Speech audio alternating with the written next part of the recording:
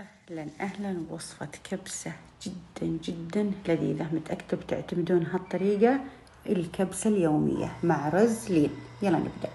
رز لين يا بنات الناس اللي يعرفونه خلاص أنتم عارفينه وأنتم اللي تعلموني عنه طيب اللي ما يعرفونه حب أقول لكم إنه من أنواع رز العنبر القشاور وميزته إنه يتحمل الحرارة.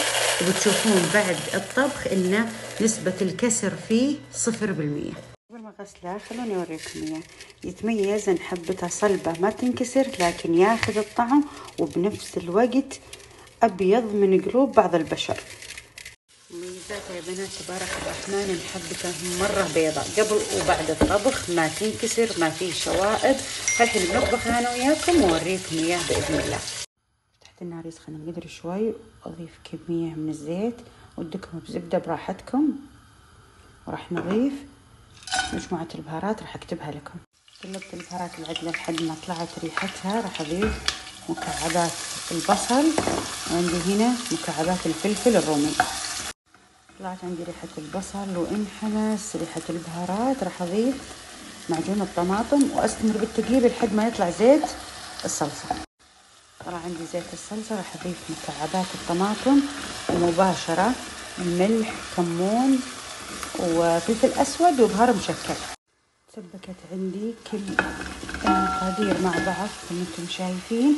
راح أضيف الآن الليمون الأسود وراح أضيف الدجاج.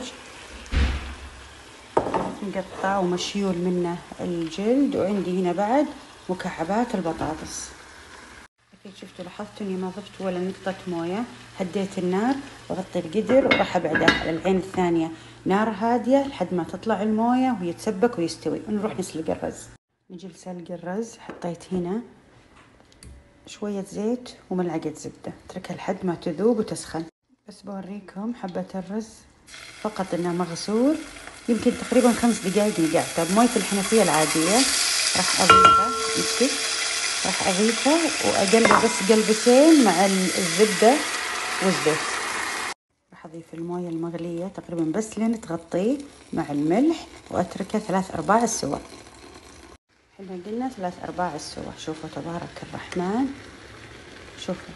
شوفوا لون الحبة. شوفوا لون البياض. وشوفوا خلوني أوريكم. وهو ما بعد خلص ترى. شوفوا طول الحبة. اللهم صل على محمد. والريحة شيء. شوفوا من غير ولا نقطة موية فعليا ودي توصلكم الريحة. الآن ناخذ الرز نحطه فوقه.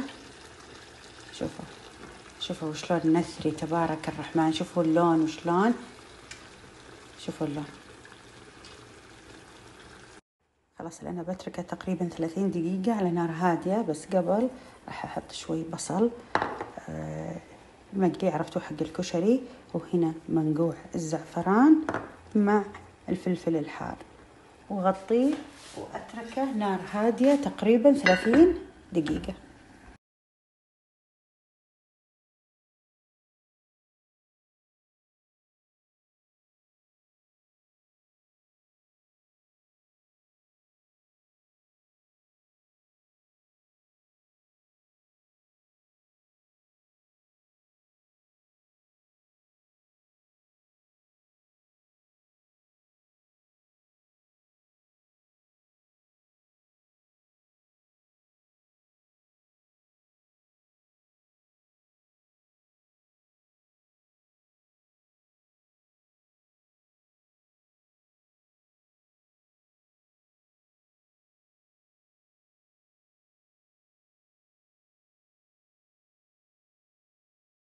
أنتم عمركم سمعتم عن توتوريال الدق بالخمس بالكبسة؟